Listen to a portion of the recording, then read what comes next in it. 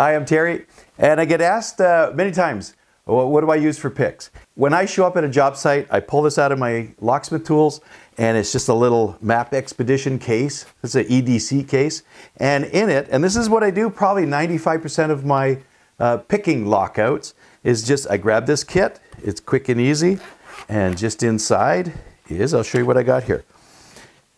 Now I have my latest little toy. I have my Knipex pliers. And these are handy and they're, they're, they're narrow enough. Sometimes I can get a broken key out of there. But this is for picking. I just grab this. Uh, I can have this if I have to turn it. But the main th uh, tools I use every single time. So my favorite pick is a hook pick with a diamond. And you know, some of these are Petersons, Rytans, whatever. That's my favorite pick. This one's a little bit thicker. This one's a little bit thinner. And I always grab, I prefer a a rigid uh, tension wrench. And I also have a flexible. It is a flexible one. Uh, you see, I, I bend that. I bend this whichever way I'm going. So, you know, this is this is these three things right here.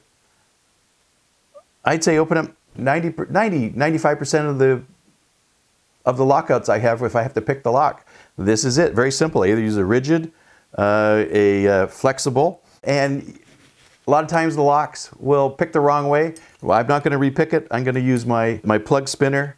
I call it a flipper, a plug spinner. I have a whole different types, uh, different types of uh, spinners, but this is the one in my case. I have a bigger pick set that I, uh, I use if, if I'm just not picking it. And of course, uh, I always have a little can of WD-40 I use for picking locks, not for lubricating locks, for helping me to pick it. Uh, I, my friends all use Tri-Flow.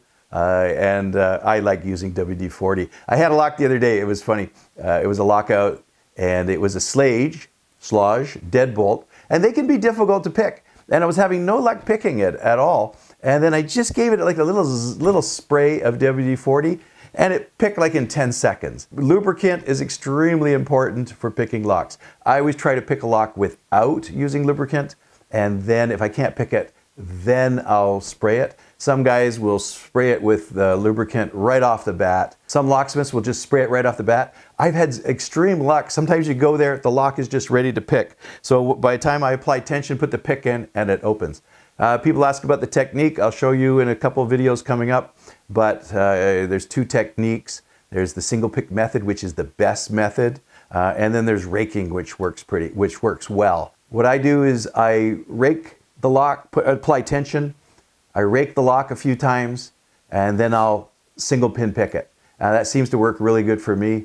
Uh, also, the, don't be afraid to release tension. I'll uh, rake it, single pin pick it, and then I'll let go. And, and if I don't hear click, click, click, means I, am not, I haven't applied proper tension. So one way of, instead of just picking away, some people are afraid to release tension. Release the tension, then you can see, oh, I picked a bunch. Or if you hear nothing, you don't hear the pins falling back in, then you know you got bad tension. But back to the point, this is my everyday carry. If I show up at, uh, at a lockout, this is what I, I have in my kit. Hope you enjoyed the video. Please like and subscribe and stay tuned for more videos coming up. I hope you enjoyed watching this video. Subscribe to my channel.